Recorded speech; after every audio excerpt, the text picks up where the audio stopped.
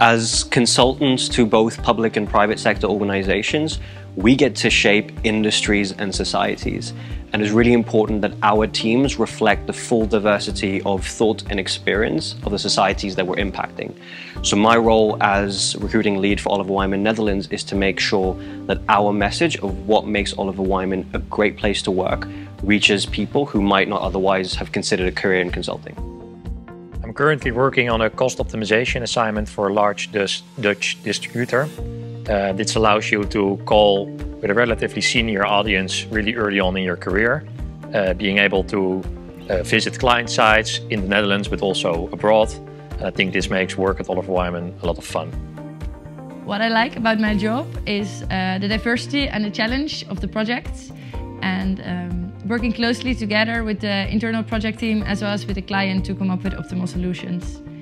What I really like about Oliver Wyman specifically uh, are the people, the office culture, including a lot of social activities, as well as the ability to bring your authentic self to work.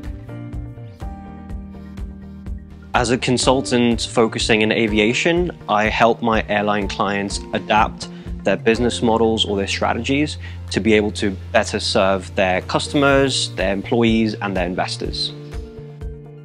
At the moment, I'm working on a diversity and inclusion project in which we're co-creating together with the clients their diversity and inclusion strategy. I think what's really cool about Oliver Wyman Amsterdam is that it's a small office, part of a bigger picture.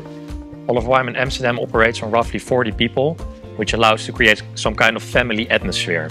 You know everybody by his front name, you're able to play pool together, have lunch together, which I think is unique for a consultancy firm. At Oliver Wyman, we afford people the opportunity to make whatever career path they want. If you want to specialize in a particular industry or work across loads of them, work in country A or travel the world, take some time off for education or anything else, we make that happen.